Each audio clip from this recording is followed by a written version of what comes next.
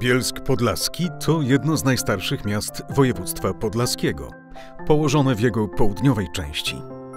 Początki Bielska Podlaskiego związane są z okolicami Góry Zamkowej, gdzie w drugiej połowie XII wieku istniał już gród obronny. Jeśli chcieć jednym zdaniem opisać miasto i jego mieszkańców, to należałoby powiedzieć bogactwo kulturowe i historyczne, tygiel narodowościowy. Obok Polaków mieszkają tu Białorusini i Ukraińcy. Od stuleci funkcjonują wyznania prawosławne i katolickie.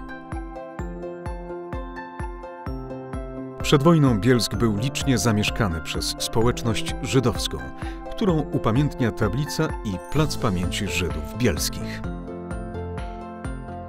W 1430 roku wielki książę Witold wydaje przywilej, na mocy którego w Bielsku zamieszkałem przez Rusinów nakazuje osadzać także ludność wyznania katolickiego.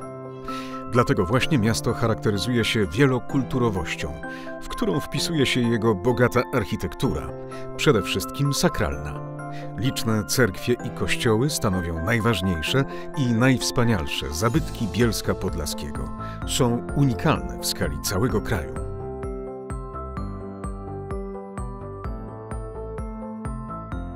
Obok cerkwi świętego Archanioła Michała znajduje się baptysterium, w którym można podziwiać freski profesora Jerzego Nowosielskiego.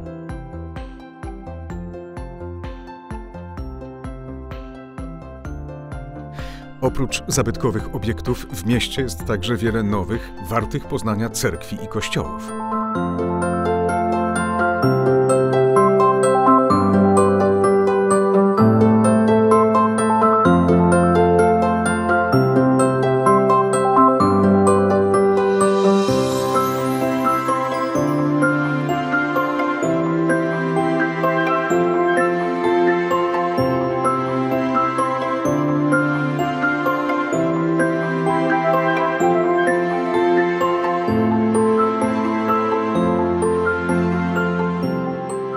Też tu swoją siedzibę jedyne w Polsce policjalne studium ikonograficzne, w którego pracowniach powstają setki ikon służących wiernym w całej Polsce i za granicą.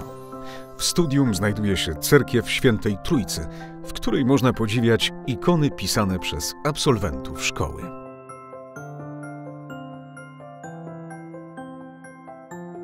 Architektura sakralna to nie jedyna atrakcja Bielska Podlaskiego.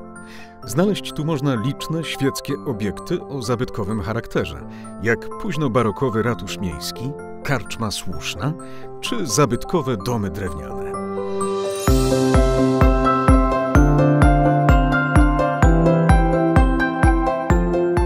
W mieście funkcjonują muzea poświęcone lokalnej społeczności.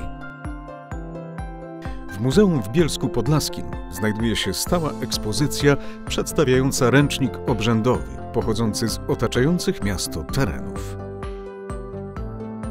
Bielsk Podlaski ma także swoje miejsce w polskiej kinematografii. Jerzy Hoffman nakręcił tu film Znachor. Sklep, w którym pracowała Maria Wilczur, w rolę której wcieliła się Anna Dymna, do dziś jest jedną z atrakcji turystycznych miasta.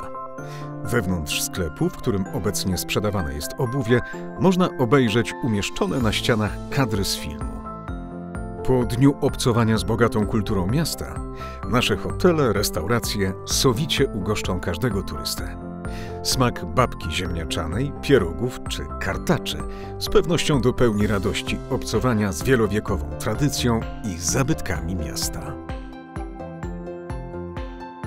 Bielsk Podlaski to miasto gościnne i otwarte na wszystkich. Miasto, gdzie od wieków żyją obok siebie ludzie różnych narodowości, z których każda wnosi do lokalnej społeczności to, co najlepsze z jej kultury i tradycji.